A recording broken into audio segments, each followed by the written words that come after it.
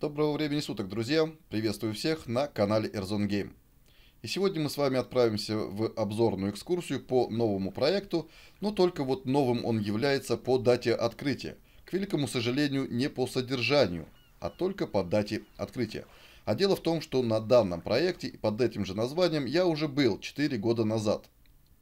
Но в то время, 4 года назад, я еще не так сильно критиковал нафталиновые сборки – да и, в общем-то, обзором тот обзор можно и не называть, потому что мы с другом бегали, э, пытались получить удовольствие, смотрели какие-то модельки, которые нам показывала администрация. Да, и я бы сказал, что я и обзора-то особо и не делал.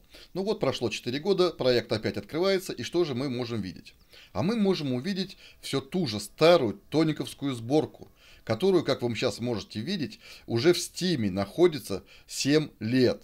7 лет, как эта сборка эксплуатируется, насилуется разными разработчиками. Ну и вот еще одна версия данной сборки, только вот в такой вот обертке. Да и оберткой-то это не назвать, потому что это просто та же самая сборка, которую они открывали 4 года назад, только поменяли иконки. Даже внешне проект ничем не отличается. С минимальнейшими изменениями.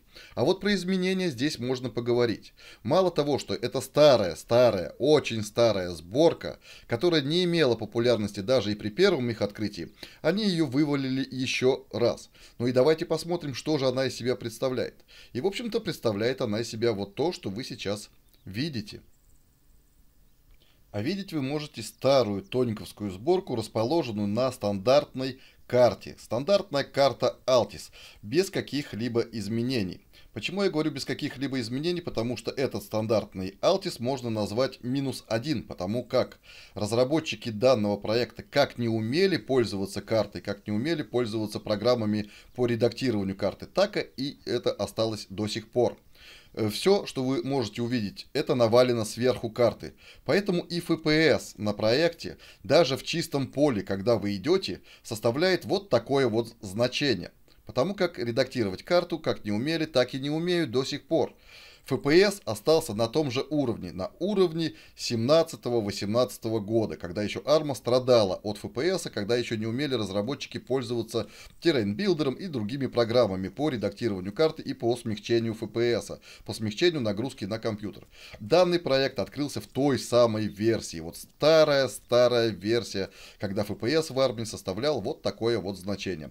Теперь, если вы хотите насладиться FPS в 40-30 единиц, пожалуйста, милости просим, заходите, пощупайте, потрогайте все сами. Ну, а что касается технической части, то есть скриптовой базы, моддинга, моделинга, э, тут тоже показать нечего, потому что, как я и сказал, это старая-старая нафталиновая тониковская сборка, поэтому изменений здесь никаких нету. Она перекочевала через года вот в наше время с теми же самыми багами и недостатками, которые когда-то имела эта сборка. В дальнейшем э, часть из этих багов была пофикшена, но только не в случае этого проекта потому что на данном проекте с этим никто заморачиваться не собирается. Э, Все, что я увидел, это урезанный парк, потому что еще даже в моем четырехлетнем видео, когда нам показывали в автомобили, какие они собираются добавить, они уже тогда говорили мне, что, в общем-то, ряд из этих автомобилей мы не сможем добавить, потому что они имеют недостатки, а исправить эти недостатки они не могут. Поэтому сейчас, на данный момент, на этом проекте э, имеется минимальное количество автотранспорта. Точно так же здесь и вся система сбора ресурсов очень-очень старая, и вы можете это заметить, старые механики и даже старая система переработки ресурсов, когда еще не было кнопки переработать все. А я, кстати, об этом показывал целое видео, что человек э, сделал эту кнопку еще давно-давно на старой сборке за 20 минут.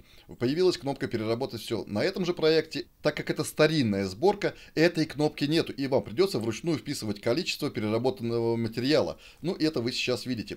Точно так же все точки добычи э, минералов, ресурсов расположены все в тех же местах, как это было когда-то в самом начале, когда эта сборка только-только вышла в свет. Но несмотря на пролетевшее время, как вы видите, находятся люди, которые считают, что можно кого-то удивить и заманить играть старинной, древней, воняющей нафталином сборкой.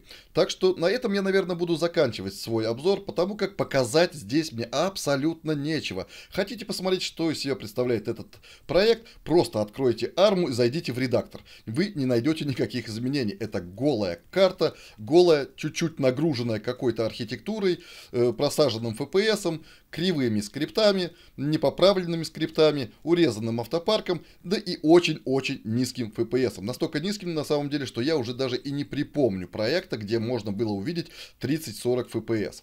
Ну, в общем-то, на этом я, наверное, буду заканчивать. Кому интересен этот проект, пожалуйста, заходите, играйте. Если сможете, то получите от этого удовольствие. У меня же, друзья мои, на этом все. Всего вам доброго.